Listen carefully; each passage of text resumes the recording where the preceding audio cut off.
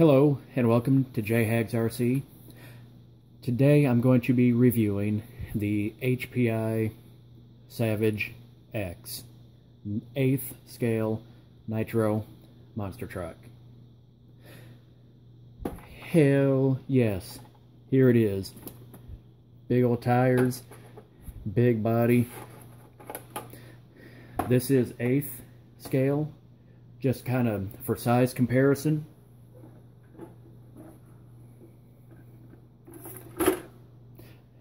That's a Tamiya lunchbox. Let me scoot that back. That's a Tamiya lunchbox, which is a 12th scale. This is one that everybody's probably seen before. That is a Stampede.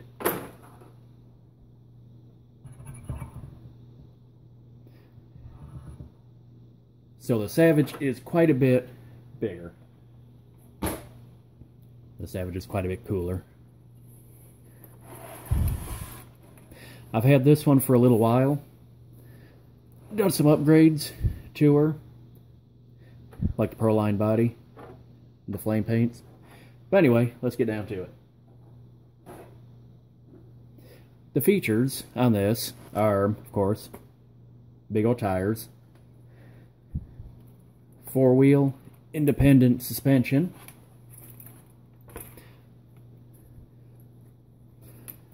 all steel drivetrain. Of course, you got a nitro motor. This one's been replaced. That one's my original. This is an LRP 30. This was the old um, um, K4.1, I believe it is. This was actually the first model X.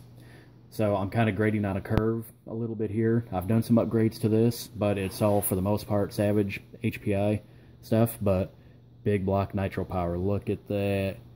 Hell yes.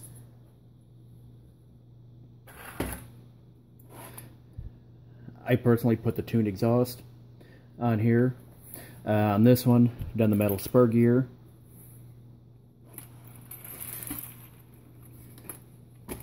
Twin vertical plate chassis, central mounted, mounted two-speed transmission up underneath my air filter there.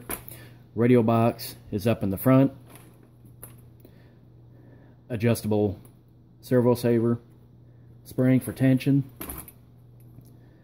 Look at these A-arms, dude. These things are nice, big, thick, burly. This whole truck is a hoss.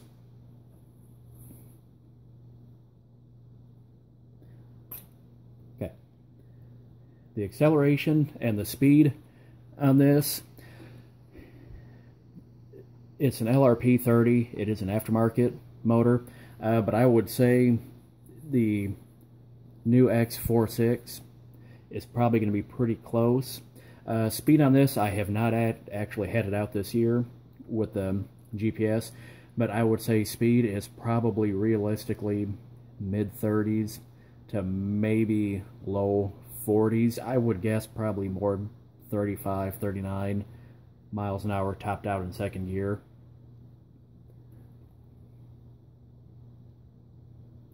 Acceleration, uh, the thing that's made the Savage, apart from durability, very famous, is a little bit of a higher center of gravity. So she will ride nice big long wheelies. It's got great acceleration, um, especially with the tuned pipe on there. I mean, it'll it'll pull a wheelie, it'll rip a wheelie, and it will hold it for, uh, hell, just about you want to let off, really. Um, the steering on these models, uh, this one actually has a, when I, I bought it used off of Craigslist, uh, it has a Airtronics servo on there. Uh, so the stock HPI steering servo I cannot comment on. I can, however, say that this chassis, you know, high center of gravity, big tires, lots of power.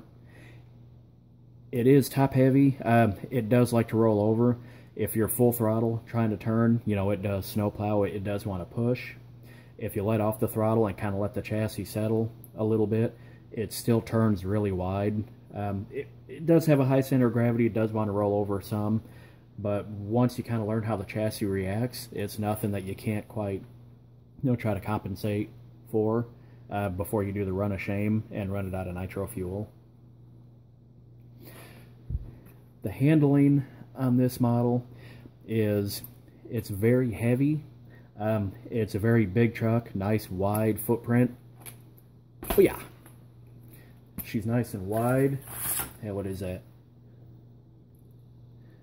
You know, that's over a foot of width. Hell, 15 inch wide probably. Um, nice long wheelbase. Nice big bore plush shocks.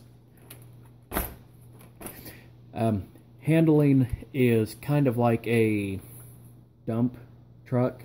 I mean, the chassis doesn't, it will get upset, but it takes quite a bit really to get it upset. Um, it's not real smooth, you know, handling. It's not a race truck, I guess is really what I'm trying to say and boil it down to. Handling is respectable. This is in its element, in its prime, when you're launching the thing, big air, big jumps. Um, groomed racetrack, you know, not really its thing, but like BMX track, motocross track, uh, you could take it to a skate park. That's where this is going to shine a little bit more. The durability on this machine is, man, the Savages are legendary for durability. Um, I'm probably going to piss a couple people off here. The T-Maxx is the one that kicked this whole segment off. You know, um, when they came out with the T-Maxx, Traxxas came out and threw down a three-pound hammer. It's a beautiful machine, but when HPI came out with this, especially the latest incarnations, of it. You know, the Savage came out to that three pound hammer of a T-Maxx and smacked that some bitch with a 10 pound sledge. Um, this is all steel drivetrain. It's kind of hard to see and I'll see these are right there, that orange right there. That is anodized aluminum bulkhead braces. Um, the hubs are all very heavy duty to it. You can break a Savage, um, but it's got to be, and myself included, I have done it, it's got to be pretty knuckle-headed. You know, you're not just going to,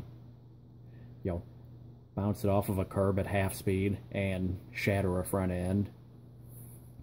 You can definitely break a Savage, but durability is, you know, about the best in class for eighth scale nitro monster trucks. Between the um, I would say between like the big four. Uh, very durable machine. You can break them yes they are breakable but for the speed and the size and the weight I think these are exceedingly durable the only long-term durability issues that really come to my mind that I have had with this machine is the wheel nuts, and this is true on every machine, man, Loctite, Loctite, Loctite, and check these nuts about every two or three runs. Man, I make sure that you have a good six-point socket because these flange nuts right here are very shallow. It's hard to, if your um, socket starts to get a little bit of wear, you will round those off. So make sure that you tighten these every couple three runs. Make sure they're Loctited or you will be stripping wheel hexes and replacing wheels. And the only other real durability issue that I can think that I've had with this was when I replaced the stock motor with this LRP, I had to step up to the SS style metal spur gear. I kind of think the new Savages have the metal spur gear, but I am not 100% sure. Um, I kept on stripping that dude with this motor. Put that in there, did not have a problem. Um, the other durability thing I can think that Savage people are going to say, the um, the differentials, make sure that they are proper, properly shimmed. Uh, this one is still running the old style. I have a Savage Flux that is running the new bulletproof machined gears. Have not had the only problem that I have had with that is I am shearing screws off in the differential housings.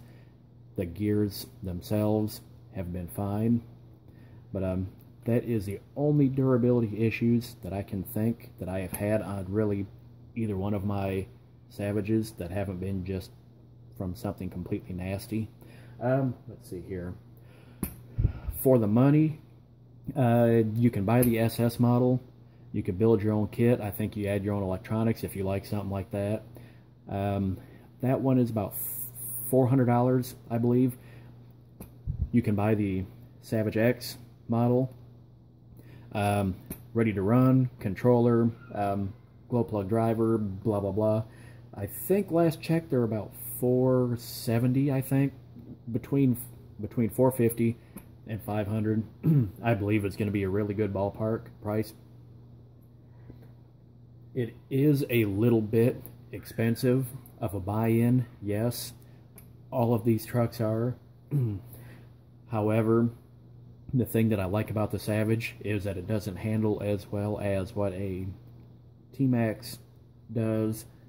Um, you do not have a lot of the durability issues. Man, I'm going to get lit up on this. You do not have a lot of the durability issues that you have with the T-Maxx as far as bulkheads, A-arms, um, drivetrain, plastic gears, steel dug. This might, and this is the same money as a T-Maxx. Um, if you're looking for something to bash extremely hard, and you want to, and you can sacrifice a little bit of handling, I would say, you know, this would be your machine. Um, the fun factor on this machine, man, there is nothing more fun than having a pretty much a nitro-powered dump truck or a nitro-powered logging wagon. Think of putting a top fuel engine into a Kenworth dump truck loaded down with gravel, and it's kind of the same thing. Fun as hell. Um, I completely love them. I actually have not been driving this one a whole lot, and I might throw it on Craigslist just to see what kind of offers I get, possibly, because I have a Flux model, and man, I drive the Schneikes out of that one.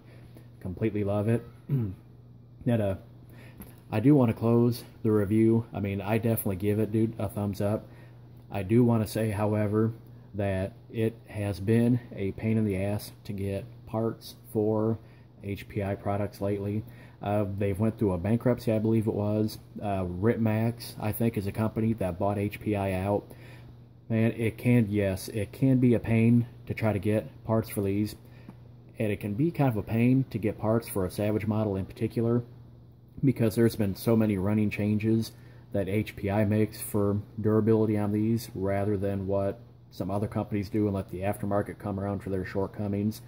So the best place to um, find updated part numbers and that kind of thing if you have a Savage is to go on um, HPI Racing, I believe it is, dot .com and go to the Savage section and it will show you the updates and some of what you need, you know, if you want to upgrade an older Savage, kind of like, you know, what this one was, up to the newest, kind of latest, greatest stuff. Um, but, yeah, man, it can be a pain in the ass to get parts. I waited for six months for differential gaskets for my Flux um, luckily, man, I had a, a pretty good pile of spare parts. I'm kind of serious about my toys, so I keep a pretty good amount of spare parts laying around.